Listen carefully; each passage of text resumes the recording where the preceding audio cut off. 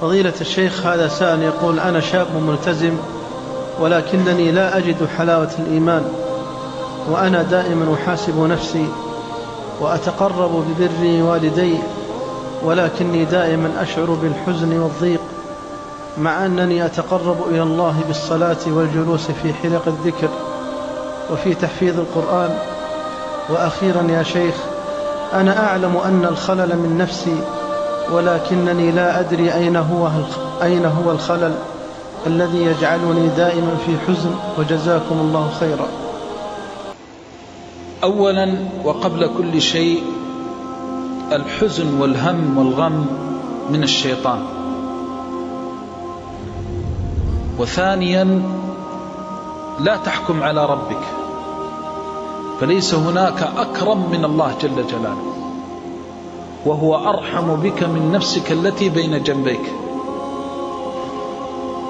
فأنت إذا عشت مع الطاعة وأنت تحسن الظن بالله وتأخذ بوصية الله أن الحزن من الشيطان ولا تلتفت إلى هذه الأحزان ولا تلتفت إلى هذه الأشجان سرعان ما يذهب عنك كيد الشيطان. لكن إذا أصبحت تستسلم وأنت الذي تحكم على نفسك أنك مهموم وأنك مغموم كم من عبد يصبح في عافية في بدنه آمنا في سربه معافا في بدنه ومع ذلك يقول أنا مهموم أنا مغموم أنا محزون أنا مكروب أنا كذا لأنه أشعر نفسه بذلك. ولا يهلك على الله إلا هالك. وصاك الله من فوق سبع سماوات بألا تحزن. كما وصى نبيه عليه الصلاة والسلام وبين أن الشيطان هو الذي يوقع أسباب الحزن. فقال إنما النجوى من الشيطان ليحزن الذين آمنوا. فإذا لا تلتفت إلى شيء اسمه الحزن. من أي شيء تحزن؟ أتحزن على أمر يتعلق بدينك فالله يجبر كسر الدين. وإن كنت تحزن على شيء من الدنيا من فراق أب أو أم أو عزيز أو مال أو ولد ففي الله خلف من كل فائت. ولن تجد عبد الله المؤمن الصادق يصيبه حزن ما دام قلبه مملوءا بالله جل جلاله. من أي شيء تحزن؟ من كان لله جل جلاله وفرغ قلبه لله عمر الله قلبه ثقة به سبحانه. ولذلك لا ينبغي للمسلم أن يتعاطى أسباب الحزن. ومن فإنه إن فعل ذلك أعان الشيطان على نفسه. ولذلك استعاذ النبي صلى الله عليه وسلم من الحزن. وقال لأبي أمامة رضي الله عنه حينما دخل ورآه جالسا في المسجد. فقال يا أبا أمامة بأبي وأمي صلوات الله وسلامه عليه كان أرأف بالناس من آبائهم وأمهاتهم. رأى هذا الصحابي جالسا في المسجد في ساعة غير ساعة الصلاة. وانظر إلى هذا النبي الكريم الذي شرفه الله وكرمه.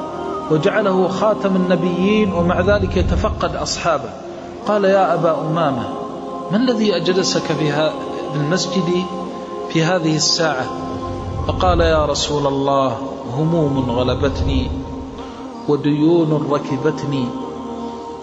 فقال نبي الرحمة صلوات الله وسلامه عليه أولا أدلك على كلمات إذا قلتهن؟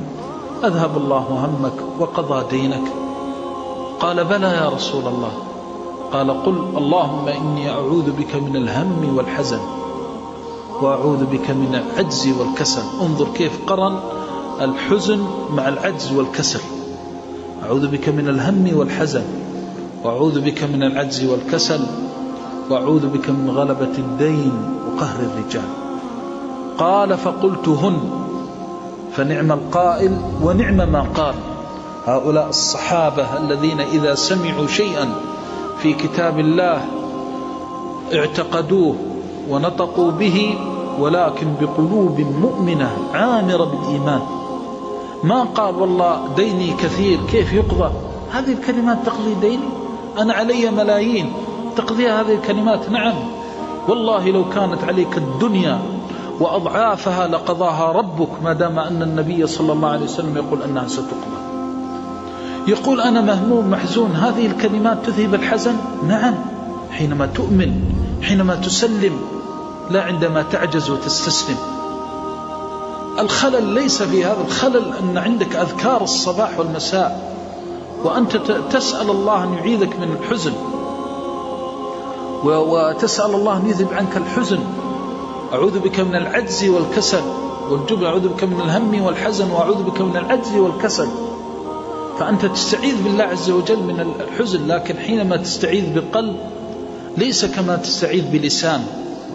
حينما تستعيذ وقلبك يعي أن هذه الكلمات من الوحي الذي لا ينطق عن الهوى وأنها من رب العالمين وأنه لا أوفى من الله بوعده وعهده حينما تقولها تعرف كيف تقضى عنك. وأعرف رجلا ذات مرة أصابه حزن الدين. وقلت له هذا الحديث وجاءني بعد فترة وجيزة كانت عليه ملايين.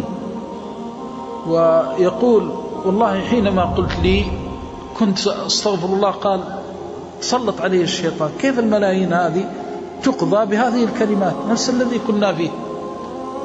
قال فتح الله علي بالفرج من حيث لا أحتسب. لكني حينما جاء قال كيف تقضى الملايين؟ قال قلت أعوذ بالله من الشيطان الرجيم. الله يبعث رسوله عليه الصلاة والسلام ليقول لنا هذا الكلام. والله لا يخلف الوعد أبدا سأقوله. ولزمه. يقول فيما يذكر ثلاثة أيام كانت عليه ملايين. ثلاثة أيام مدة وجيزة. بعض الناس يمكن ما يمر عليه يوم واحد لكن التصديق والإيمان. وقد يؤخرها الله لشهور لحكمة. وقد يؤخرها الله لسنوات فلا يقضى عنك الدين لسنوات لكي تلقى ربك بدرجات وأجور وحسنات لأنه سبحانه رحيم بالمؤمن فلا يصيبه هم ولا غم ولا حزن إلا آجره سبحانه وتعالى. فأنت تؤمن إيمانا كاملا أن الحزن سيذهب سيذهب. كذلك أيضا أوصيك أخي أنت تقول أن العيب في النفس في بعض الأحيان قد يبتلى الإنسان ببلاء بسبب مظلمة فيكون ظالما لزوجته أو ظالما لأولاده أو ظالما لجار من جيرانه أو ظلم موظفا معه فكذب عليه أو وشى فيه بالكذب والزور فلم يتق الله في إخوانه المسلمين فيبتلى ببلاء من الله. وقد تصيبه دعوة مظلوم.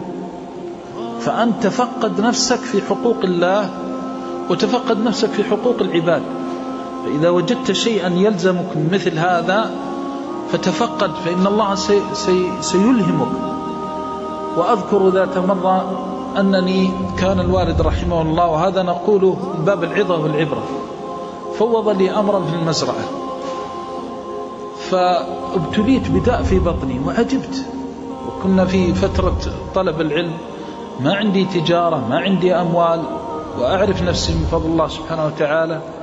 فتعجبت من داء أصابني في الجوف. وكان خيار الأطباء في المدينة صديقا للوالد رحمه الله قال ما عرفت علاج لمحمد. ومكثت على هذا مدة. فصليت وسألت الله عز وجل أن يرفع عني ما بي وكان في نفسي إن كان في شيء يدلني عليه. فوالله الذي لا إله غيره ولا رب سواه. إني في يوم من أيام رمضان. كان درس الوالد بعد الظهر فخرجت إلى المزرعة. وفي المزرعة بهائم. يعني من فضل الله موجود العلف وموجود ال... فأصلحه الله العامل كان لا يعطي البهائم من البرسيم أو القت كان يأخذ الأوراق الأوراق الموجودة أوراق أكياس الإسمنت ونحوها لأنه يتكاسل فيرميها للبهائم وتأكل هذه الأوراق. فجئت والله يشهد وإني في حرم رسولي جئت شيء عجيب. خرجت فذهبت كأني أتصفح وأنظر ماذا في المزرعة كأني أقاد إلى حظيرة البهائم وأقف عليها فوالله ما وقفت عليها إلا وهي تتناوشني بالصياح فنظرت فإذا بالورق مرمي بينها. فناديت العامل وكان في شدة الظهر في رمضان وغضبت غضبا شديدا لكن لحق حقوق الله. فأمرت أن, أن يأخذ من البرسيم الموجود. المزرعة موجودة فيها خير لكن لأن هذه رعية استرعاني الله إياها. وأمانة حملتها. وأقسم بالله العظيم كل يوم ويذهب عني الداء تدريجيا. حتى ذهب عني من فضل الله. وهذا يقولها للعبرة لا يظلم الله الناس. وإذا صدقت مع الله أن يدلك ويلهمك ويرشدك إلى سبب البلاء ستدل وترشد. لأن إن يصدق الله يصدق. فإذا وجدت أن هناك داء هناك أمر يقلقك فابحث عن جيرانك ابحث عن إخوانك ابحث عن من تعاملهم. وقد يكون هناك عبدا ظلمته أو منعته حقا من حقوقه فإذا صدقت مع الله صدق الله معك. وأما إذا كان بذلت هذه الأسباب ووجدت أن هذا يتسلط عليك فإنه من الشيطان. وعليك أن تستديم ذكر الله عز وجل وتحافظ على أذكار الصباح والمساء. وإذا قلت الأذكار ينفعك الله بهن إذا قلتها بقلب وتدبرتها وتأملتها. نسأل الله بعزته وجلاله وعظمته وكمان أن يذهب عنا الهم والحزن أن يربط على قلوبنا بما ربط به على قلوب الصابرين الموقنين من أوليائه المتقين. إنه ولي ذلك والقادر عليه والله تعالى